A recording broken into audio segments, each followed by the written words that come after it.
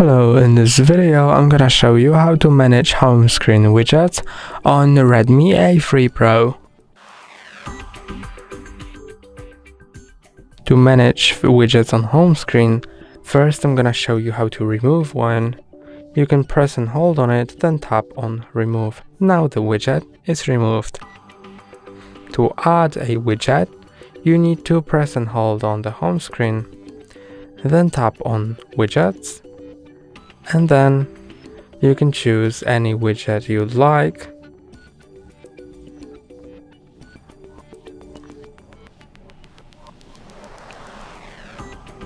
and when you choose the one you want just press and hold on it then place it in the desired location.